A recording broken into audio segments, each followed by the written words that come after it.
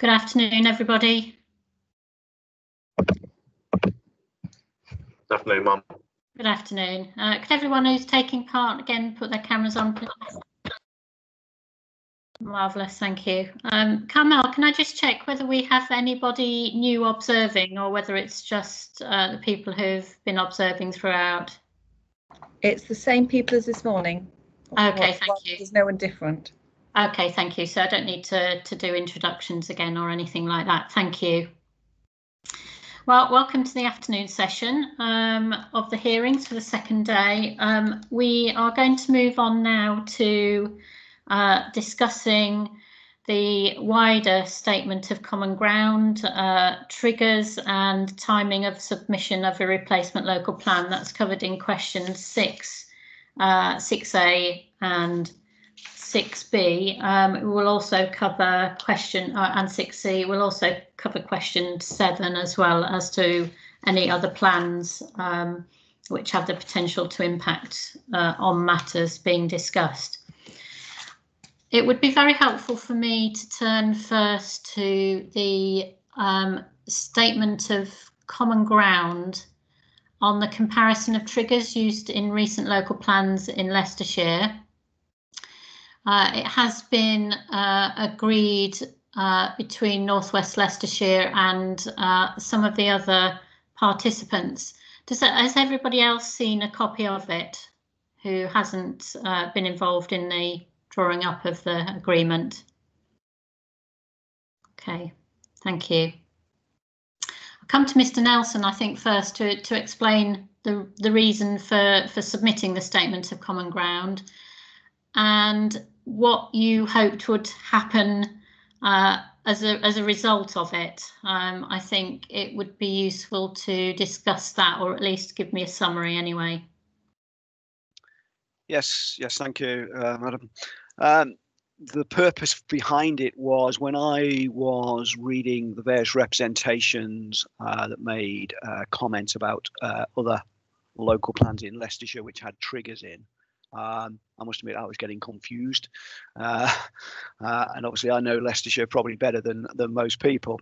Uh, so it just seemed to make sense to try and pull something together to uh, sort of summarize as easily as possible what those different uh, policies in those different local plans were saying, try to pick out some of the common factors or, or not common factors, uh, just as a, a, a, means really to aid discussion today.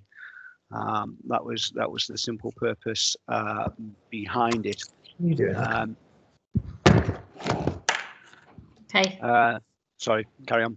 No, carry on. No, if you hadn't finished, I just heard somebody in the background, so I wasn't yeah, sure. No, likewise. Um, yeah, so I mean, obviously, uh, what we've put forward in terms of the change to policy one does in, include one trigger, which is the uh, wider statement of common ground. Um, if you look at some of the other local plans in Leicestershire, they, they do include other triggers, but as noted in the statement of common ground, those triggers are always about uh, starting a review. Obviously, that is a process which we know from this morning that we are already fully engaged in anyway. Um, our trigger is is a trigger after which the plan has to be submitted. Okay. Um, and some, I, I, having looked at this, some also have triggers, I suppose, following um, following that as well, don't they? I just want to clear up a, a, a basic question, I suppose. Um, a couple of the the policies mention a statement of common ground, and a couple mention memorandum of understanding, and I think one mentions both. So I, I, it would just be helpful to understand from your perspective, if you're if you're able to, Mr. Nelson, what what the difference is, uh, if there is a difference my understanding is that there isn't a difference. I think it's just a case of uh, terminology changes through time. So if we go back to when the HEDNA was being produced, and even before that, actually, uh, memorandum of understandings were, were were agreed by the local authorities.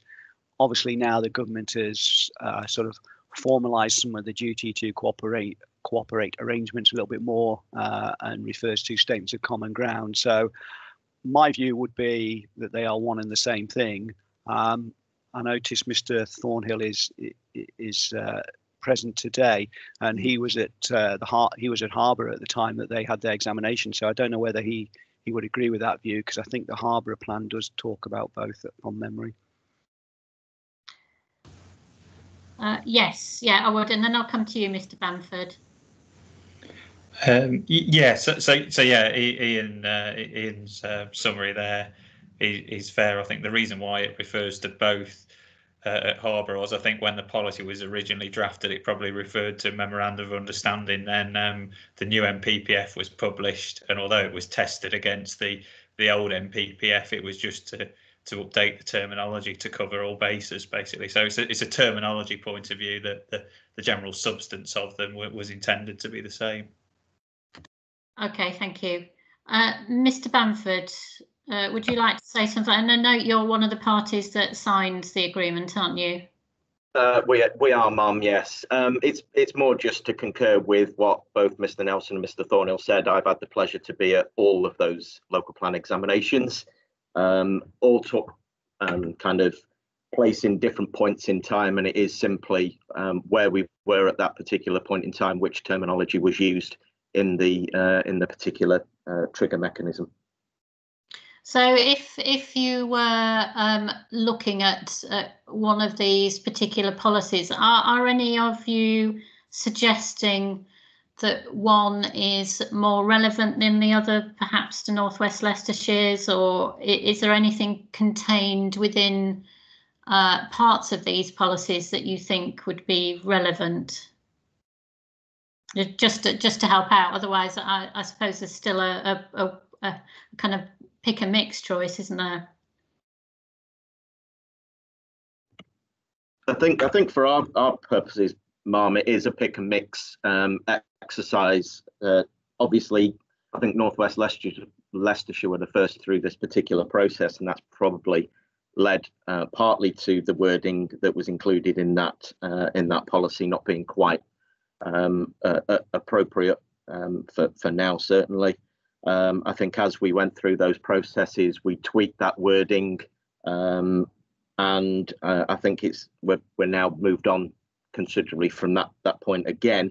Uh, and I think it is a pick and mix process to get the best of those um, trigger policies into um, the whatever the trigger policy is for for Northwest Leicestershire. I think the concern from our point of view has has always revolved around um, both time frame um, and some kind of backstop stroke fail safe um, should progress not or, or, sufficient progress not be made. And I think that's that's the critical element of, of getting this trigger mechanism right for for Northwest Lests. Okay, thank you. Uh, did anybody else who wanted to comment? I, I will come back to you, Mr. Richards, in a minute. Uh, anybody else who signed up to the statement of common ground for the triggers want to add anything? Uh, Mr. Fox?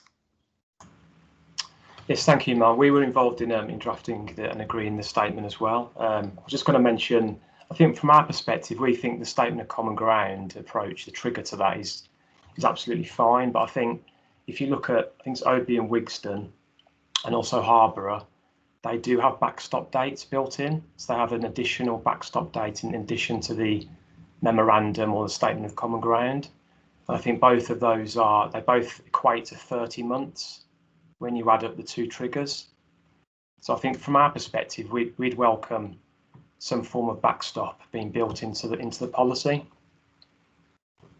Okay. I still make sorry, sorry, man. One other point as well is that having looked at the wording of the of the revised policy, the draft policy, um, it's referring to Leicester City's unmet needs specifically in the second second element of the, of the paragraph.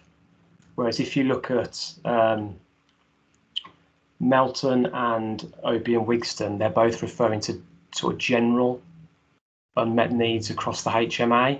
And I think, given what we discussed this morning, whereby there's a, there's a potential that Leicester may be able to meet its own needs under any new standard method, but there could be unmet needs elsewhere in the HMA.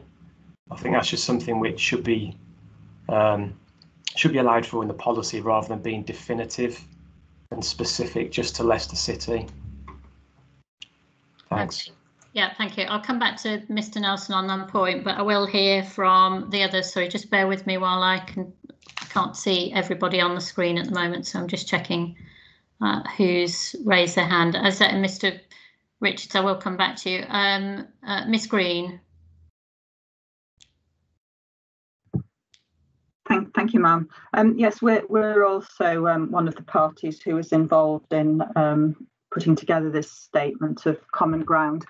Um, I mean, we feel that it's um, it's sort of a, a factual statement, um, and I think that um, the table um, shows how this type of policy in the Leicestershire HMA area has sort of evolved over time as we've gone through numerous examinations of, of local plans.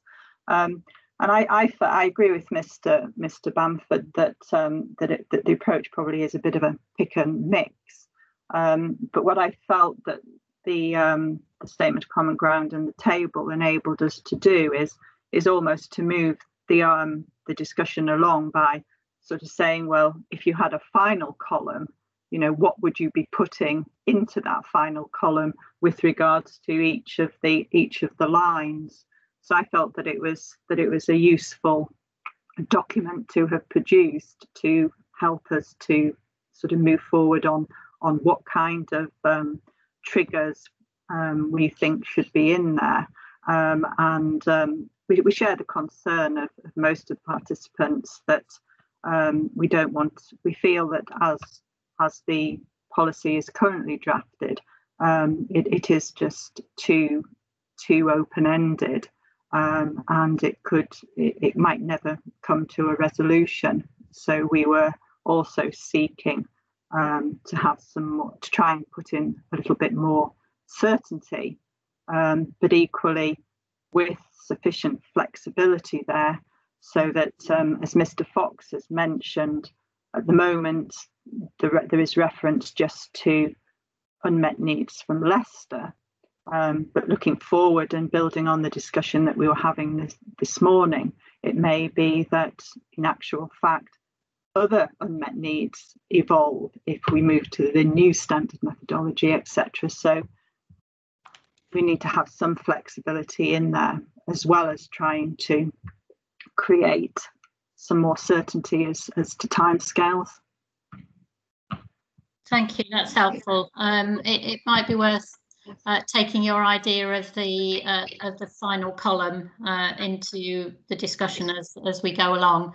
Uh, but I will hear from Mr. Pendle and then Mr. Richards. Uh, Mr. Fox, have you finished? Your hand's still up, so that's okay. Thanks, uh, Mr. Pendle. thank you, Mom. Um, I won't reiterate what um, the, the, points that others have just made. Um, but you know, certainly would endorse those. Um, it strikes me that um, each of the policies are very much of their time um, and use the terminology that was probably prevalent in, in, in the, the individual local plan examination cases.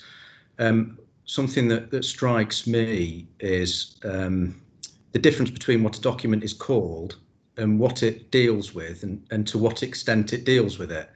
Um, so, for example, Memorandum of Understanding previously has dealt with um, the vehicle for potential agreement, officer member groups, not necessarily the, the, the extent the extent or scope of evidential matters that might need to be dealt with.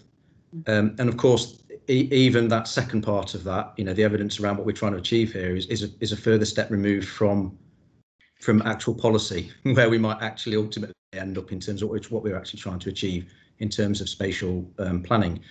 So, so what the document's called is one matter, you know, but if it's dealing with process, policy or mechanism is, is another matter.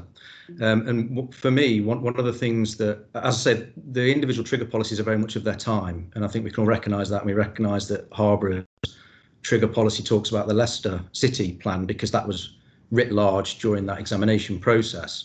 Um, and indeed, we are where we are now. Um, and, and, you know, you heard me make comments about the existing trigger policy being um, being a product of the Northwest Leicestershire local plan as it was then. Um, so I think to try and sort of move us along, Ms. Green's mentioned this final column. I, I, think if, if we can focus on what it is that we're trying to wrestle with rather than what the document may or may not be called, um, that would probably be helpful. You know, what is the explicit matter that results in the need for action to be taken? Um, because of course, you know, I made the comment this morning, joint statements, statements of common ground, MOUs, you know, they are what they are. It's what they actually say and what they do that really matters.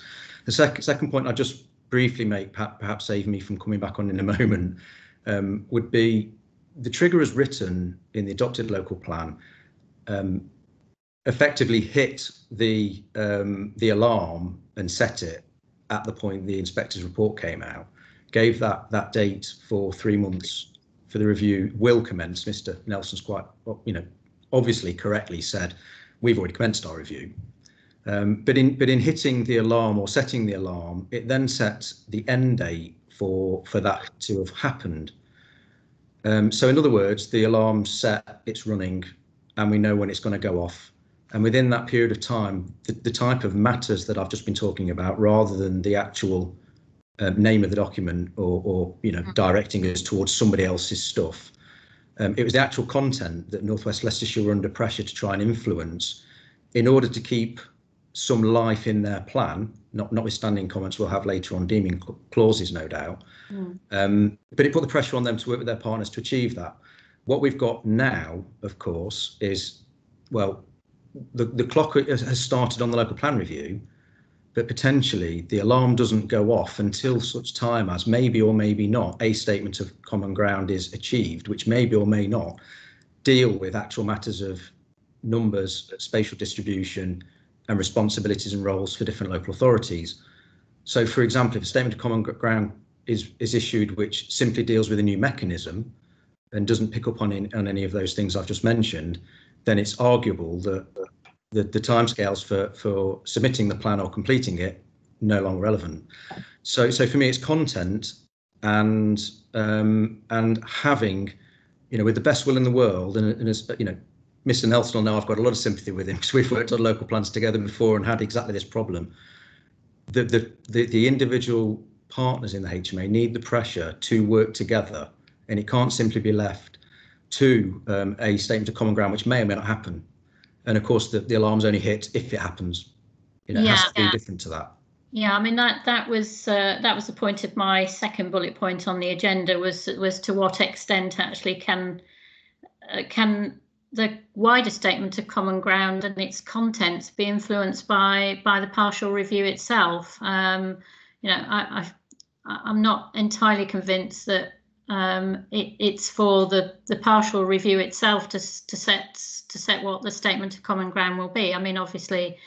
Uh, it's it's a discussion that will be had, but equally, uh, all the Leicestershire authorities aren't here at the moment, so they they they won't be party to to this uh, discussion.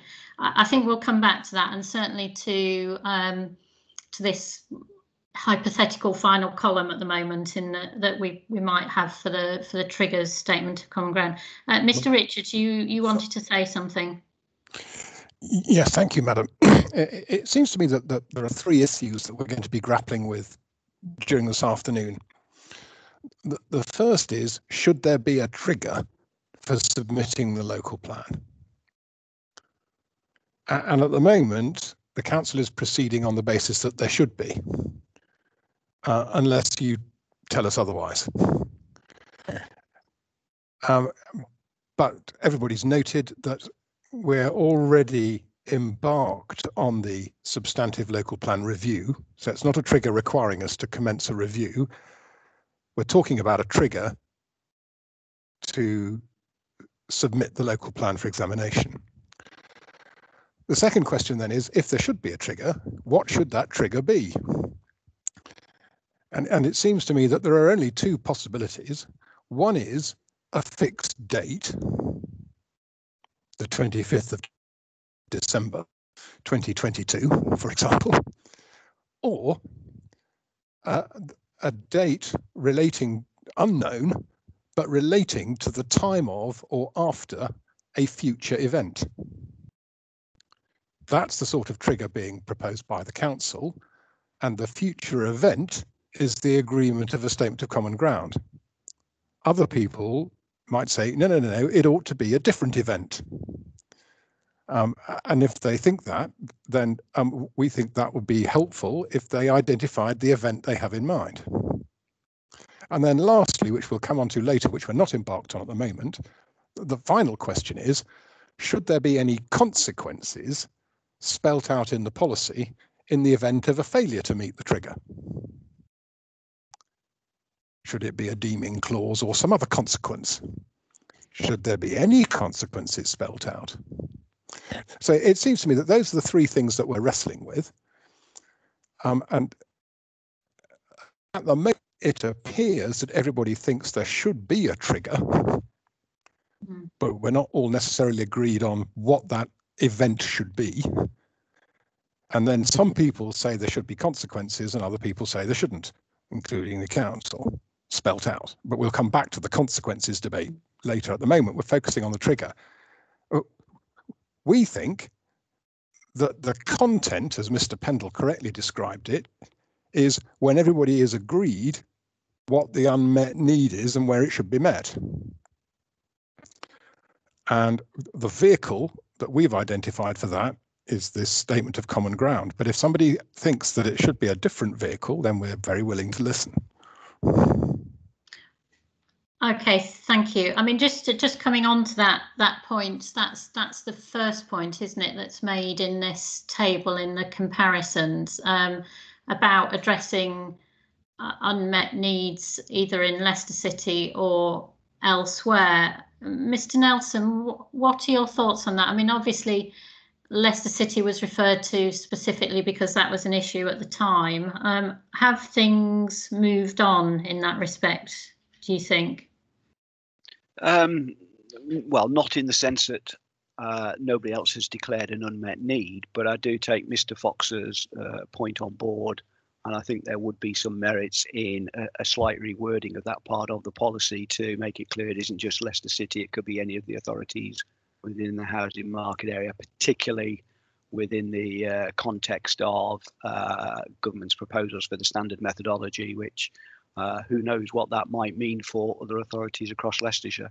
Um, some authorities who currently are, are, are uh, able to meet their own need, they may not be able to, possibly. We don't know. So I think it would allow for that possibility as well. Okay, thank you. Uh, Mr. Lees. Thank you, Madam. Um, yeah, I'm, I'm, I'm just wondering to what extent um, the precise wording is is um, is material to the actual situation of the council undertaking a review. Because again, I think what we're all what we're all trying to achieve is a mechanism whereby the council is going to undertake a comprehensive, the substantial review as um, as swiftly as possible. Um, so I, th I, think that's where we're all trying to get to anyway. Um, the the um, I guess the question is to what extent does any wording here um, change um, the statutory requirement for reviewing uh, plans um, in any event? And obviously, for those reviews to be completed no later than five years from the adoption of a plan as well. So, so I guess it's just it's just understanding how quickly Northwest Leicestershire could, in in in, any event, having already started, as Mr. Richards says, the process of the substantial review, not formally. We haven't had a Reg 18 um, consultation yet for the um, for the comprehensive review.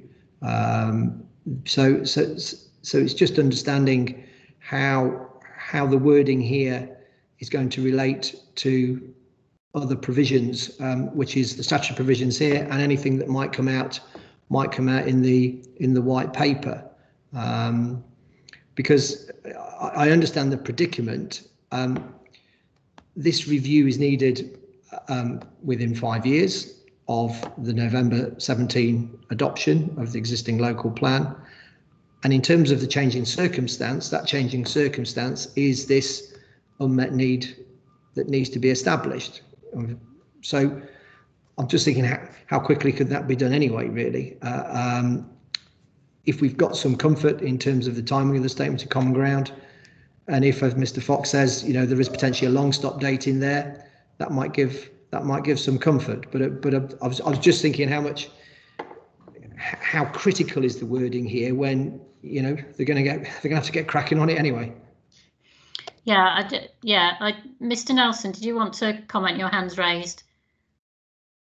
Yeah, it was just the um, uh, the comment from Mr. Lees about uh, not not been any Reg 18 consultation on the substantive review. Obviously, we we did start the the substant what is will become the substantive review process in February uh, 18 as required by policy S1. We ended up in this situation where we then had to sort of diverge between the substantive review and the partial review. Uh, um, but certainly the consultation we've undertaken so far will feed into uh, or is part of the substantive review. Okay, thank you. Mr. Richards? Uh, yes, just um, to make sure that we're not proceeding on a mis uh, under a misapprehension of of the law. Uh, I, I, share Mr. Um, Lees's enthusiasm for getting on with it, but the requirement to conduct a review in the NPPF and in Regulation 10A um, is a requirement to um, conduct a review not to complete review.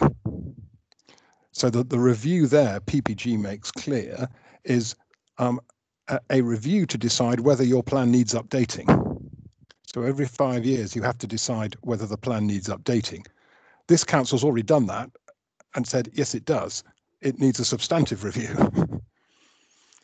Hmm. um, so that five-year period mentioned in the NPPF is, is for that process. It's not five years between adopting one plan and adopting the next, which is what we thought it would be when the idea was first floated. But in fact, the um, NPPF and the PPG and the regulations say something different. Okay, thank you. Um, still got Mr. Nelson, Mr. Pendle's uh, hands up. Did you want to say anything else again? yes, sorry, I just want to go back to what I what I said earlier on, and and probably uh, just to sort of correct something, I suppose. Uh, in policy S1, um, as it currently stands, um, it does actually refer to um, district council will work with the, the other authorities to establish the scale and distribution of any additional provision that may be necessary in northwest Leicestershire and elsewhere in the housing market area as a result of the inability of one or more authority to accommodate its own needs. So I'm sort of going back again to Mr. Fox's point. So it does recognise that there there may be a need to accommodate um, unmet needs from elsewhere than Leicester, but then the final part of that policy does just refer to uh, redistribution from uh, mm-hmm. from Leicester City. So whether that part needs looking at, but just just to be absolutely clear, the policy does do that anyway. Yeah, I, I think it would be uh, helpful for it to be consistent in that respect. So that that would be something that would need to be looked at just so it's clear what the aim of the, the policy is. Okay. Um,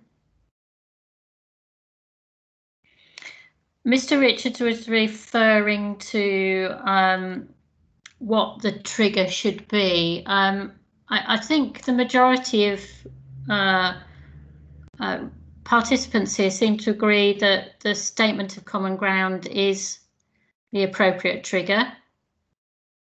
Is that is that correct? Is uh, or have I misread uh, anybody's comments? So I think that's right. It's just whether there is an additional backstop, I think, or other dates referred to. So um, uh, just coming on to the statement of common ground then, um, yeah, I mean, there was a bit of a discussion about what um, what the statement of common ground should include. Uh, I, again, I, am not entirely sure whether that that is something that this particular uh, examination can influence to any great extent. I, I, would suggest that's a matter for for the authorities. I, I do know. Um, I think Mr. Lees, you you suggested uh, some things that the statement of common ground could include, like commitments from each authority to meet its own housing needs, uh, cumulative figures. Is that correct? Is that what you were suggesting that? Yeah, it was just, uh, I guess I was looking for um, sort of an, and really for the purposes of this examination, potentially having, um, because we've got the statement of common ground, which is in support of this examination, uh, November 2019, and then we've got this emerging statement of common ground between the authorities in terms of the redistribution. And clearly where I was really getting at for the purposes of for this examination, having a, a meaningful uh, um, an effective um, uh, uh statement of common ground uh, was, was, was to have more detail as part of that statement of common ground for this process. Clearly, we can't we can't uh, um, fill it in and uh, ascribe the numbers. Obviously, um, there is a significant process to go through for that. But it was just having a bit more detail um, about what that statement of common ground might be, and if that is an iteration. Um, and if we're moving on away from a duty to cooperate point, obviously a statement of common ground is a is a living document.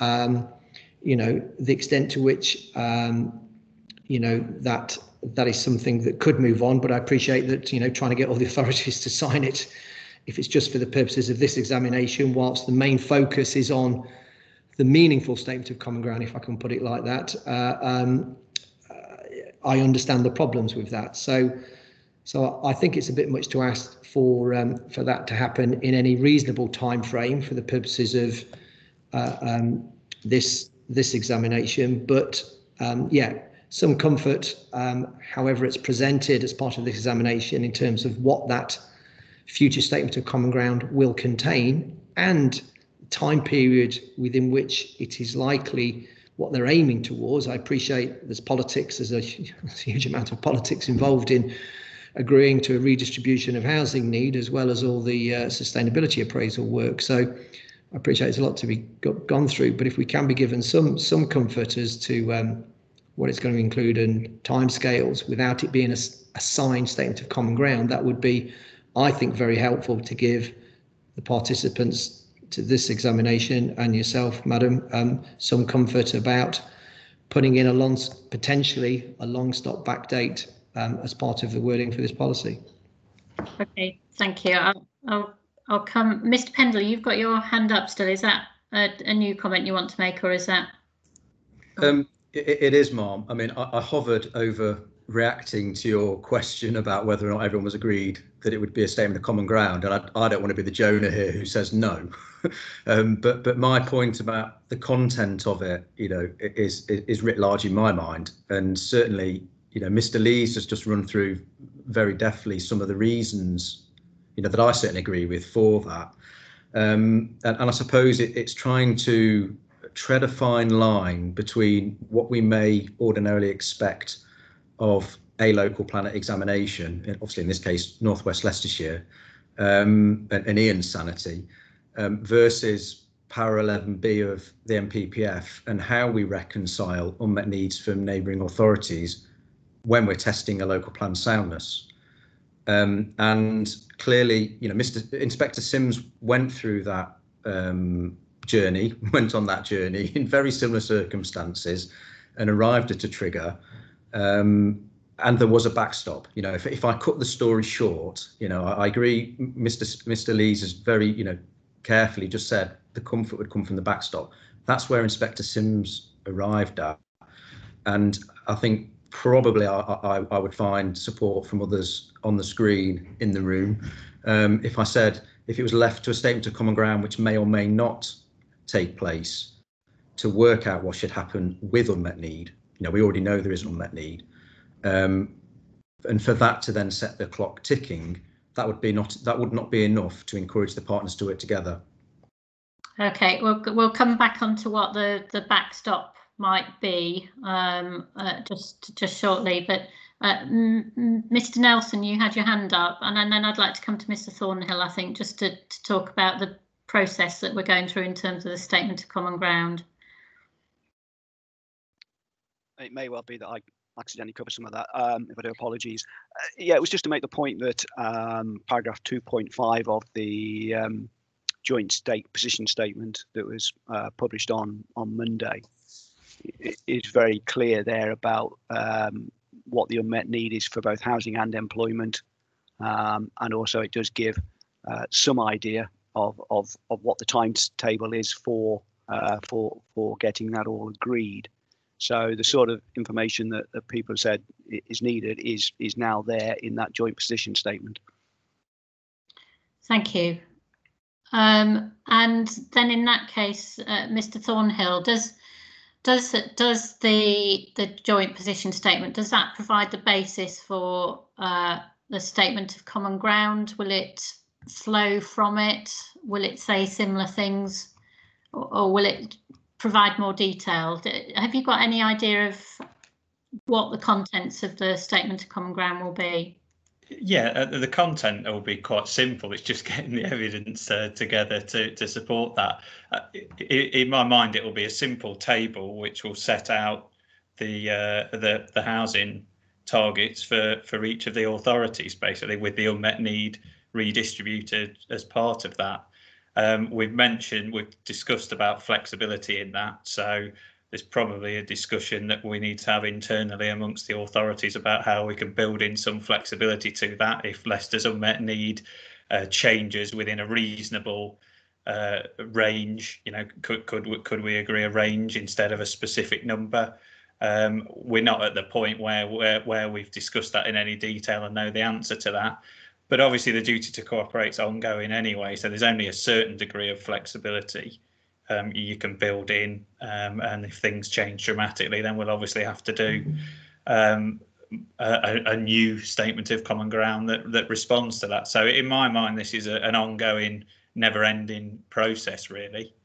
Um, we're at the start of it now, um, or towards the start of it, given the, the situation that we're in, that we're with the emerging situation as we've discussed.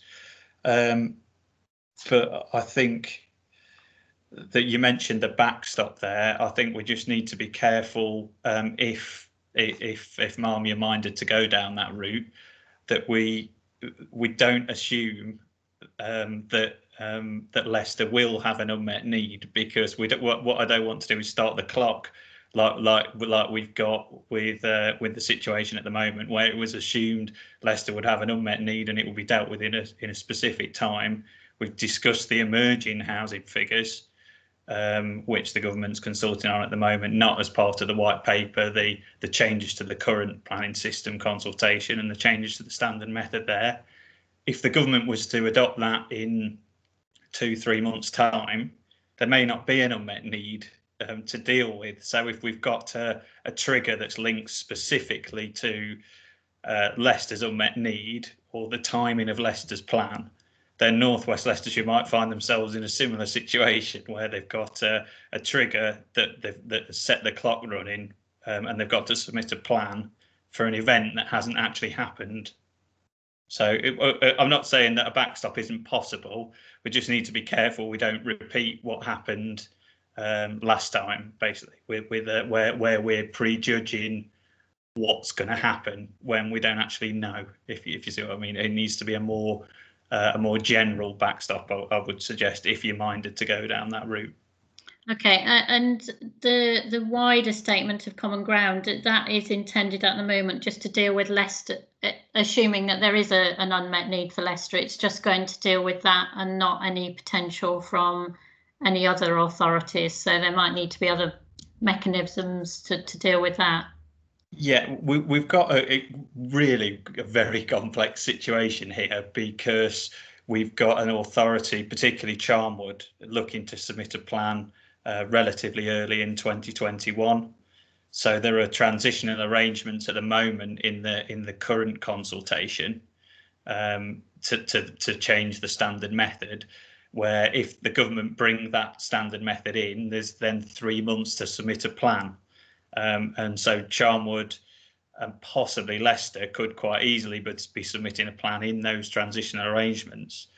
So even if the new standard methods brought in um, in the next month or two, there's there's a strong possibility that that one or possibly two plans will be submitted under those transitional arrangements based on the current standard method in that scenario, we end up in a sort of a parallel universe where we have an unmet need for Leicester that only exists for Charnwood's local plan and nobody else. so Right. so you can see how it gets very very complicated very Mm. quickly um, as depending on what the government do. Um, so there's a huge um, push to get this statement of common ground over the line, come what may, because it's, it's likely that at least one authority will be submitting a local plan based on these need figures uh, uh, that, that we know about at the moment and an unmet need in Leicester. But other authorities and the Northwest Leicestershire substantive review may well go through um, in a different situation. Um, their plan's likely to go to 2039, not 2036. And obviously, we're dealing with a situation here up to 2036. Their current plan that we're, that we're involved with here is to 2031, and Leicester's unmet need to 2031 is only around 1,800 homes, according to their trajectory published on Monday. So um, there's a whole set of complex um, scenarios that, that can emerge. Um, so I just think it's important, what, whatever we do with the trigger, um, and if there is a backstop, um, th- that it that it's linked to um, events. I mean, in my mind, in my mind, the the NPPF provides the solution anyway. In, in terms of it, it requires authorities to carry out a review um, and to to establish whether they need to whether their plan's out of date effectively and whether they need to update the plan. So I think I think the mechanisms in the NPPF, um, in, in my mind, as it is, um, whether whether we want to go further in terms of specific wording in the plan, um, is obviously uh, not not a discussion for me, but um, but but that's a matter for uh, for yourself. Can I, can I just get a, a couple of uh, participants have mentioned Charnwood. So Charnwood, uh, as far as I understand it, aren't intending to meet uh, any other need except their own. Is that correct at this stage? Uh, at this stage, their their their their plan hasn't been based on meeting uh, unmet need, um, but obviously that's um, that's yet to be decided through this process. So um, so it's not the, the process hasn't been been finished or completed, but I suppose they were in a similar situation to most authorities that have adopted plans um, uh, over the last few years in that they've been progressing a plan, but we haven't had a quantified unmet need for Leicester. That's obviously recently come to the fore and the, the consultation's happening at the moment. Okay, thank you. I've got a number of people with their hands up, so I'll come to Mr. Nelson first, and then Mr. Richards, and then uh, others. Yeah, it's just to pick up on that that, that point about Charnwood. Um, I don't think you'll be too surprised to hear that we uh, we we did pick up uh, what they'd said in their local plan and expressed uh, our surprise, shall we say, that they were making what seemed to be a unilateral decision.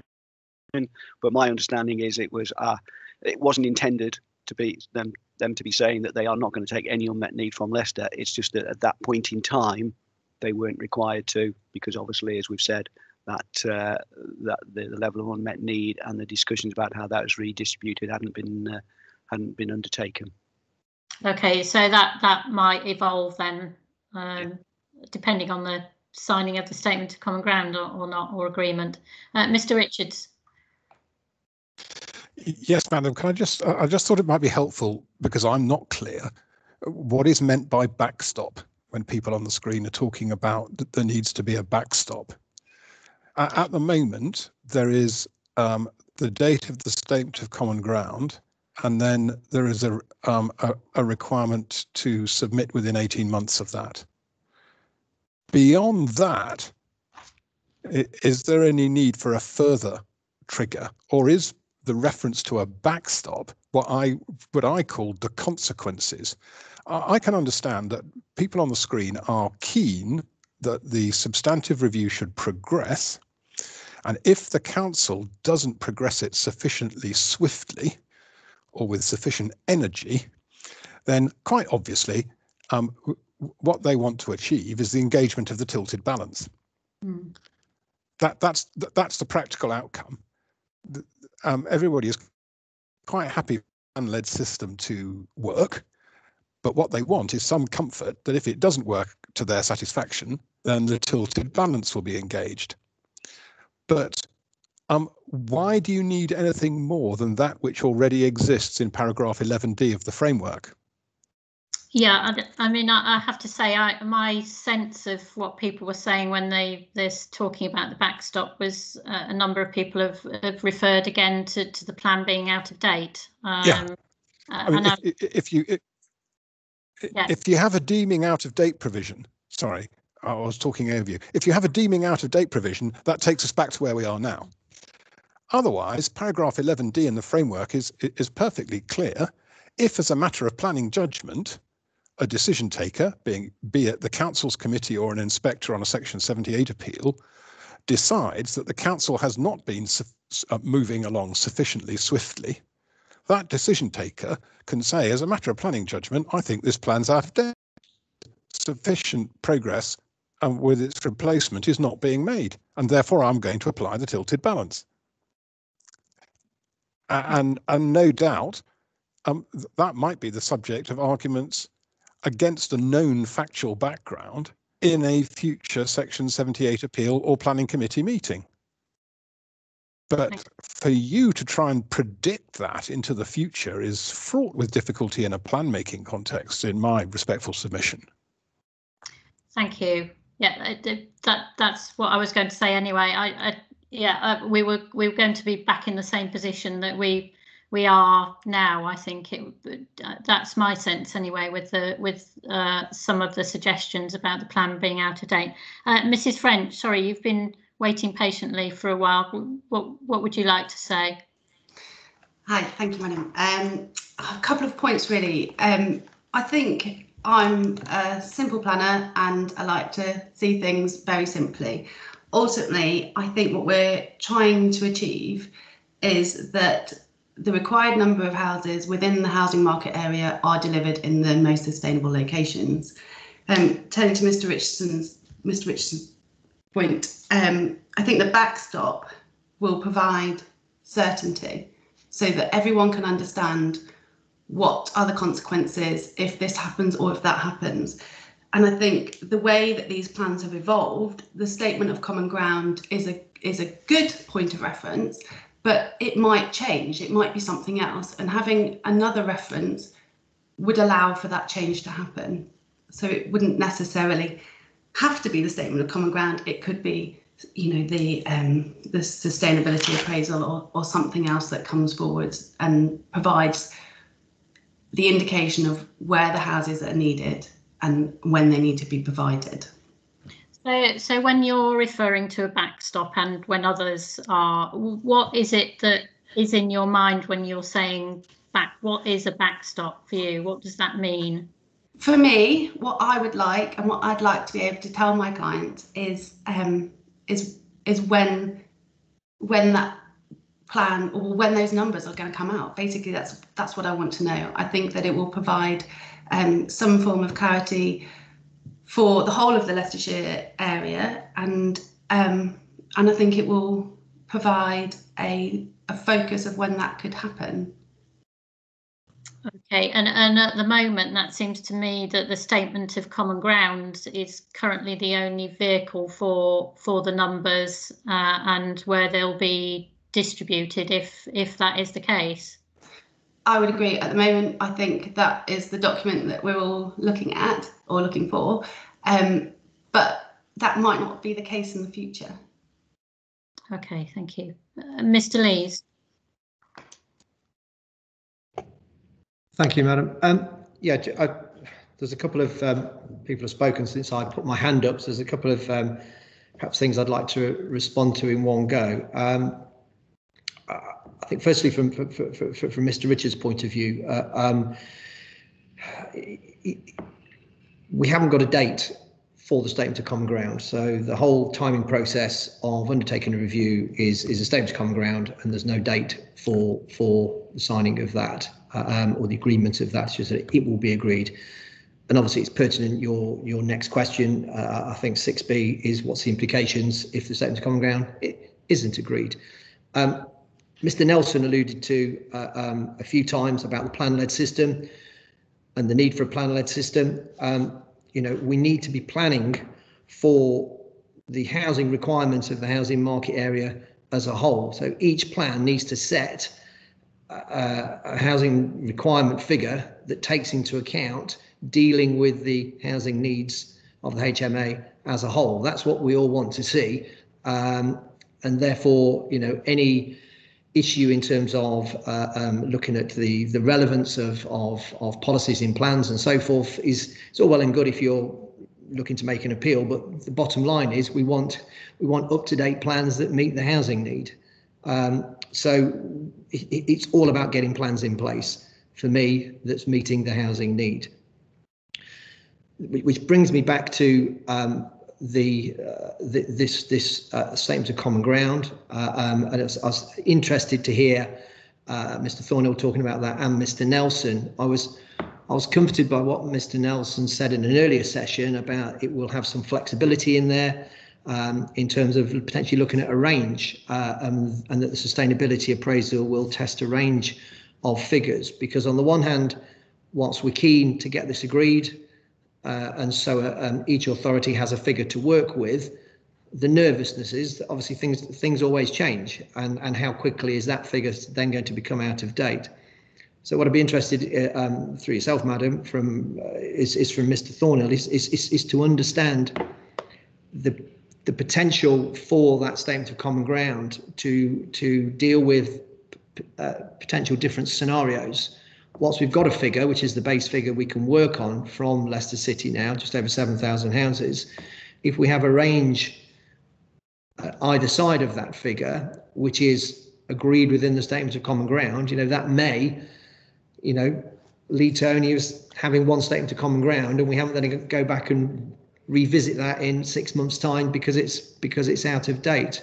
Um, so it's just understanding the the ability for that statement of common ground to include some flexibility to take account of potential future changes now as part of that one statement of common ground because trying to go and agree this politically and through a sustainability appraisal is very difficult. Again, I don't envy Mr Thornhill's task in terms of trying to do that as well. So if, if you can build that in and you can nail it with each of the authorities once, um, you know, if it's this, we'll accept this, you know, if it's a percentage or something, then clearly that's going to help help everybody moving forward and therefore each plan process hasn't then got to be halted or wait pending the signing of a new sex, um, statement to common ground. Everybody can crack on effectively, which will be a, a good place to be for everybody, I think, across